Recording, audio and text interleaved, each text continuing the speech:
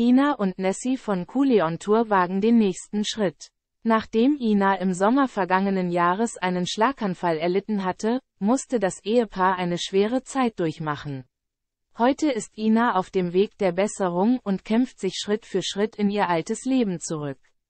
Das alte Leben stellt jetzt aber auch etwas Neues bereit. Ina und Nessie haben sich ein Haus gekauft. Auf Instagram verraten die Eltern einer kleinen Tochter jetzt. Im Mai 2022 hatte es endlich geklappt.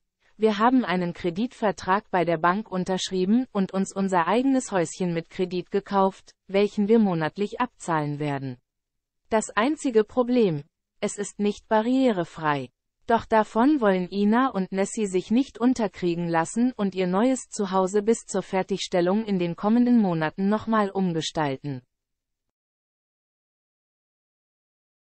Dieses Projekt wird uns bestimmt etwas aus dem Krankenhausalltag holen, sind Sie sich sicher.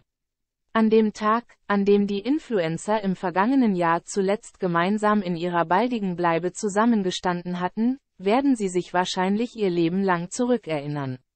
Es ist der 12. Juli gewesen.